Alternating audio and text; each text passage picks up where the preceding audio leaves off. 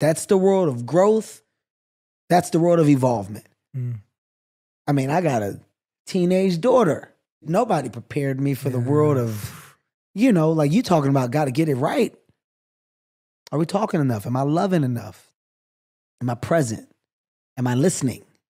Am I just delegating? Am I parenting? Am I your friend? Am I there's so much. Yeah, so much. Teenage son, little ones. I mean, my wife. It's a constant battle of energy. And as a guy who is an output, Mm. right?